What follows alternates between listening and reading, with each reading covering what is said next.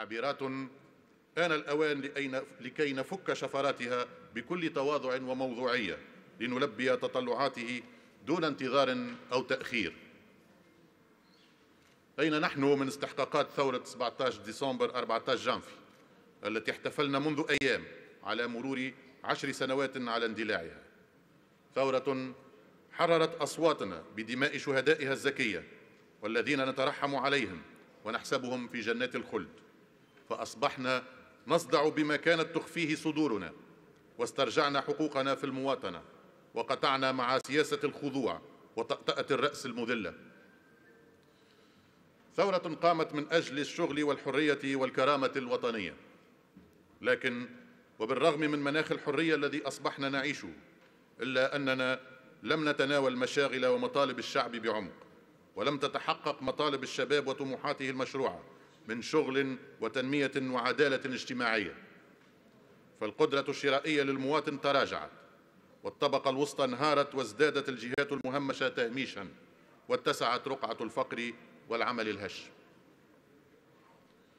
طغت منذ عشر سنوات التجاذبات السياسية والسياسوية التي زادت في عمق الهوة بين التونسيين والنخبة الحاكمة فتعمق بذلك الشعور لدى التونسيين بالتهميش. وبتخلي الطبقة السياسية عن قضاياهم ومشاغلهم وطموحاتهم. لذا فإن المطلوب منا اليوم وقبل فوات الأوان هو هو الإصغاء لصوت الشباب الغاضب بصدق والعمل بجد وبعقيدة صادقة على إيجاد الحلول الجذرية والمستدامة لمشاكله. التحريض على التدمير على التدمير والفوضى واستعمالها كوسيلة ضغط لا ينفع شيئا. بل يدمر بلدا أفنى رواده أعمارهم في بنائه. السيد رئيس مجلس نواب الشعب السيدات والسادة النواب الموقرون لا خيار لنا إلا الإصلاح. والطريق أمامنا لا يزال طويلا ولا يزال محفوفا بالعراقيل والعوائق. فالأوضاع السياسية لا تزال مضطربة والعديد من تشريعاتنا منقوصة وغير محينة ومكبلة. وكل هذا يلقي بظلاله على الحياة الاقتصادية والاجتماعية. واليوم ورغم كل ذلك فإن الأمل لا يزال قائما والتدارك ممكنا. لا مكان للاستسلام والإحباط عندما يتعلق الأمر بإنقاذ البلاد. لا تزال لنا فرصة لاستخلاص الدروس من الماضي وتجاوز أخطائنا وهناتنا ولا تزال الفرصة متاحة لبناء مستقبلنا. ومستقبل أبنائنا على أسس سليمة. يبقى ذلك رهينة توفر إرادة العمل والبناء والإصلاح عند الجميع. فإذا توفر الصدق في العمل والإخلاص للوطن وإذا تم القطع مع الشعبوية المقيتة التي تبيع الوهم وتستثمر في آلام الناس واستبدالها بروح المسؤولية الشجاعة التي تقدم الحلول الحقيقية حتى وإن كانت موجعة. عندها. سنتوفق في الإجابة على انتظارات شعبنا وننطلق فعليا في إنقاذ تونس من الأزمة الحادة التي تمر بها حاليا. تلك قناعتنا وذلك هو عزمنا. إن وقوفي أمامكم اليوم لا يأتي فقط لعرض السادة الوزراء المقترحين في التحوير على ثقة مجلسكم الموقر وإنما أيضا لطرح خارطة طريق لأولويات عمل الحكومة والبرامج التي نتعهد بإنجازها خلال الفترة المقبلة. هذه الحكومة أردنا لها منذ البداية أن تكون حكومة إنجاز وحكومة فعل لا قول. لذلك يأتي هذا التحوير المعروض عليكم كخطوة إضافية في هذا الاتجاه حيث نهدف من خلاله إلى إضفاء أكبر قدر من التناسق صلب الفريق الحكومي. تناسق يضفي لعملنا أكثر نجاعة وفرص أكبر للنجاح فيما نصب إليه. التحوير المعروض عليكم شمل أولا إعادة هيكلة بعض الوزارات حيث أعدنا تفعيل وزارة التكوين المهني والتشغيل وأضفنا لها محور الاقتصاد الاجتماعي والتضامني وذلك إيمانا منا بأهمية التكوين المهني وارتباطه الوثيق. بموضوع الشباب المنقطع عن الدراسة والشباب الحامل للشهائد العلمية والذي لا يجد فرصا للتشغيل. واخترنا أن نراهن على الاقتصاد الاجتماعي التضامني لأننا مقتنعون أنه يمثل لا فقط جزءا من الإجابة على مشاكل البطالة في تونس وخاصة بين الشباب بل سيكون ركيزة مهمة لنمو اقتصادي مستدام وشامل. يثمن ما تزخر به بلادنا من كفاءات حان وقت التعويل عليها والإيمان بطاقاتها الإبداعية وتشجيعها. وتم فصل وزارة الطاقة عن وزارة الصناعة. إيمانا منا أن هذين القطاعين من القطاعات الواعدة التي ينبغي أن نستثمر فيها وأن نراهن عليها في خلق فرص التشغيل وإحياء الأمل لدى الشباب المفعم بالحيوية ولكنه لم يلقى حظه في التشغيل وبقي عاطلا عن العمل. التونسيون والتونسيات ينتظرون إعادة عجلة الاقتصاد وإيجاد حلول للتشغيل ونحن نؤكد اليوم أن ذلك يمر عبر التنمية الجهوية المتضامنة باعتبارها الضمان الوحيد للقضاء على التفاوت الجهوي ومحاربة الفقر والتهميش والدولة هي القاطرة لتحقيق هذه التنمية. طبعا الدولة لن تعمل بمفردها ولكننا نتعهد بدعم المستثمرين بوصفهم شركاء أساسيين في دفع مؤشرات التنمية. ويمثل تحسين مناخ الأعمال وتحفيز المبادرة الخاصة أحد أبرز الأولويات التي تحرص الحكومة على تجسيمها خلال السنة الحالية. فتحرير الاقتصاد من المكبلات التشريعية والترتيبية التي يعاني منها كفيل بإطلاق العنان لكل المبادرات التي تخلق الثورة الثروة وتدفع الاستثمار حتى يجد كل من يرغب في الإبداع والابتكار الطريق ممهدة للنفاذ إلى السوق. وسنعمل بداية من السداس الأول لسنة 2021 على إلغاء أو مراجعة أكبر عدد من من العوائق والتراخيص أمام كل الأنشطة الاقتصادية. كما سنعمل على تسهيل النفاذ إلى منظومة الحوافز المالية والجبائية خاصة من خلال التخفيض في نسب التمويل الذاتي المستوجبة للانتفاع بالحوافز. الغاية الأساسية من كل ذلك هي دفع المستثمرين وخاصة الشباب منهم إلى خلق الثروة والتعويل على قدراتهم واستنهاض روح المبادرة لديهم. هذه الحكومة تملك رؤية استراتيجية واضحة للإصلاح ولتغيير منوال التنمية الذي طالما تحدثنا عنه. لا بد من إعادة النظر فيه لوضع البلاد على الطريق على الطريق النجاح وخلق الثروة الحقيقية. الثروة التي يكون مأتاها العقل التونسي المستنير والمنفتح على العالم وعلى التطور التكنولوجي والرقمي. نحن نؤمن إيمانا راسخا ومبدئيا أنه لا يمكن صناعة اقتصاد جديد بآليات وأدوات قديمة. ولذلك فنحن نعول على تطوير قطاعات المستقبل والحفاظ على خبراتنا في القطاعات الأخرى. الرؤية التنموية يجب أن تتجسد أولا في المجال الرقمي بمختلف مكوناته وأبعاده. لا يمكن اليوم الإنكار أن عالم التكنولوجيات الحديثة أصبح يمثل رافعة أساسية لتحقيق التنمية الاقتصادية والاجتماعية وخلق مواطن الشغل. وإيمانا منا بهذا التحدي الرقمي فإن الحكومة ستواصل العمل على تنفيذ المخطط الوطني الاستراتيجي تونس الرقمية كرافد للتنمية وأيضاً كآلية فعالة لإحكام التصرف في الأزمات. ولنا في ذلك مثال حي حيث ساهمت الرقمنة في إيجاد الحلول الكفيلة والناجعة في وقت قياسي لتأمين استمرارية إسداء المرافق العمومية في فترة انتشار فيروس كوفيد-19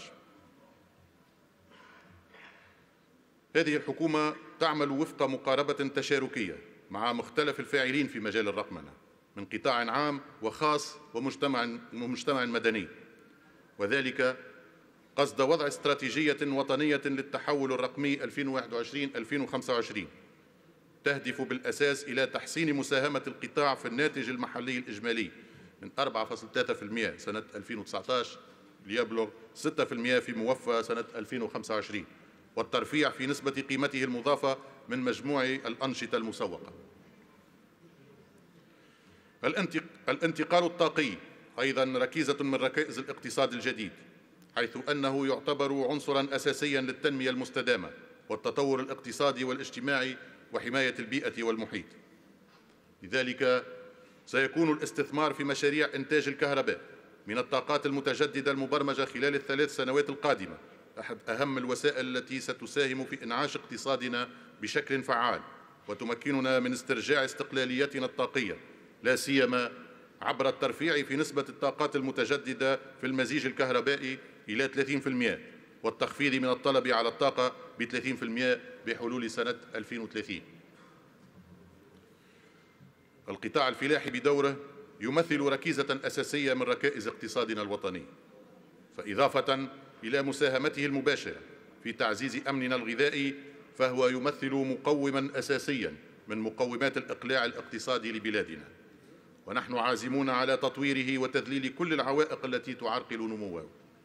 من خلال حوكمة المنظومات الفلاحية ودعم قدراتها وتثمين منتجاتها وتحسين مناخ الاستثمار والقدرة التنافسية للمنتجات الفلاحية في الأسواق المحلية والعالمية.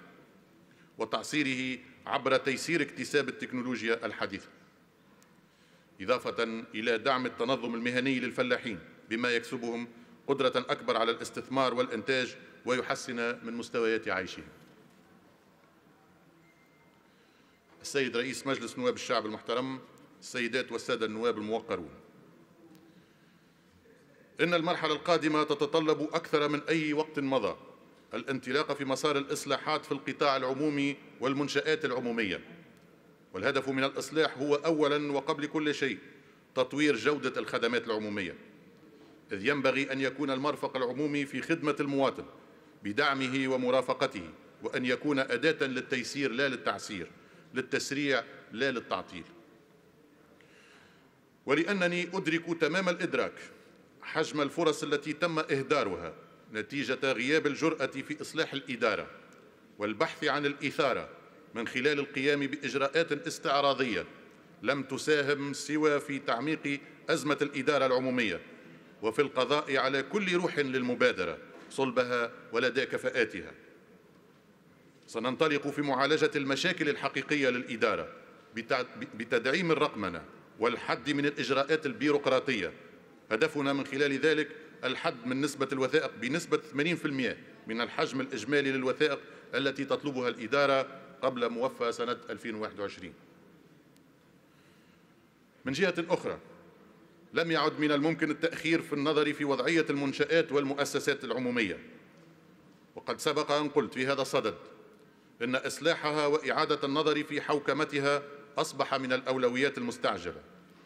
ولا وجود لخطوط حمراء في هذا المجال. سنشرع في عملية إصلاحها أخذا بعين الاعتبار الوضعية الخصوصية لكل مؤسسة ومنشأة على حدة. بالشراكة مع المنظمات الوطنية وفي مقدمتها الاتحاد العام التونسي للشغل وفق آليات حوار بناء ومسؤول. هذا الإصلاح سيمكننا من تخفيف عبء المؤسسات العمومية على ميزانية الدولة. في هذا الإطار سيتم إحداث وكالة وطنية تتولى الإشراف على هذه المؤسسات ومراجعة حوكمتها وإحكام إدارتها بالإضافة إلى صيغ المصادقة على أعمال التصرف فيها وتعزيز متابعة مؤشراتها وتوجيه التدخلات لفائدتها بحيث تستعيد هذه المؤسسات دورها الاستراتيجي في معاضدة مجهود الدولة ودعم الاقتصاد الوطني وفق مبادئ الحوكمة الرشيدة والقيمة المضافة وخلق الثروة.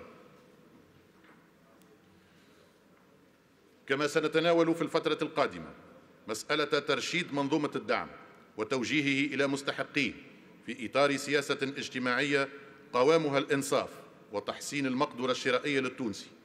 ونحن نضع أواخر السداس الثاني من السنة الجارية كمدى للانتقال من نظام دعم للمواد إلى نظام دعم للمداخيل.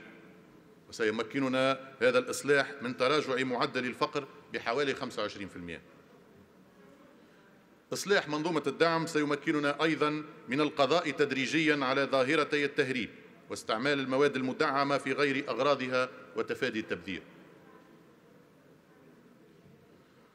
قد شرعنا في تطوير رقمنة الدفوعات والتحصيل الحكومي بالشراكة مع البنك المركزي التونسي. هدفنا من ذلك إضافة إلى تحقيق الشمول المالي والشفافية في المعاملات الحكومية. دمج جميع الأشخاص الذين لا تتوفر لديهم حسابات. أو خدمات بنكية في المنظومة المالية بشكل كبير مما مما يحسن جودة حياتهم. أيضا من بين أهداف هذه الحكومة هو تحقيق الإدماج الرقمي من خلال مواصلة تطوير البنية التحتية والتعميم خدمات الإنترنت ذات التدفق العالي في مختلف الجهات وسنقدم كل التحفيزات الممكنة من أجل دفع التونسيين والتونسيات للانخراط في منظومة الخدمات المالية وخدمات الدفع الإلكتروني سيد رئيس مجلس نواب الشعب المحترم السيدات والسادة النواب الموقرون. إن واجب الإصلاح يقع علينا السلطة التنفيذية والتشريعية أحزابا ومستقلين فهو السبيل نحو خلق فرص شغل وآفاق نجاح لشبابنا ونحو تعزيز المقدرة الشرائية للطبقة الوسطى والفئات الهشة. وتحسين ظروف عيشها من نقل وصحة وتعليم. أعتبر نفسي المسؤول الأول كرئيس للحكومة عن هذا الإصلاح ولكن الطريق إليه سيكون أسهل وأسرع بفضلكم وفي ظل مناخ سياسي ومؤسساتي مستقر وناضج. إذ لا يمنعنا فخرنا بمؤسساتنا التي أرساها دستور الثورة من الوعي بأن نجاعتها رهين نضج, نضج الطبقة السياسية وعقلنة العلاقات بينها. فما لم يتحقق الاستقرار السياسي ولا وما لم تنضج الحياة الديمقراطية وما لم تلتزم كل المؤسسات الدستورية بنواميس الدولة وبضوابطها وبحدود صلاحياتها الدستورية بعيدا عن الاستعراض والإثارة لن نخرج من الأزمة التي نعيشها. إدارتنا للشأن العام في مرحلة انتقال ديمقراطي تجعلنا مسؤولين لا عن حاضر هذا الوطن فقط بل عن مستقبله ومستقبل الأجيال القادمة. مسؤوليتنا إذن مضاعفة. لنكن الجيل الذي يقطع مع عقود من توريث الديون واجترار الفشل لنكن جيل الثورة الاجتماعية والاقتصادية تتويجا لثورة الحرية والكرامة التي قادها شبابنا. شباب رائد ومتطلع لمستقبل أفضل. فكما اجتمع التونسيات والتونسيون حول هدف مشترك في ديسمبر 2010 جانفي 2011 فلنجتمع اليوم حول ما ينفعنا في حاضرنا ومستقبلنا. هذه الحكومة تنطلق من البرنامج الذي عرضته على مسامعكم. وكل ثقة أنكم ستدعمونها وتدفعون معها نحو حاضر أفضل لتونس لكل بناتها وأبنائها. وأيضا من أجل ضمان حق الأجيال القادمة في دولة مزدهرة ومجتمع منفتح. هذه حكومة الانطلاق الفعلي في الإنجاز حكومة التناسق والبرنامج. والسلام عليكم ورحمة الله وبركاته.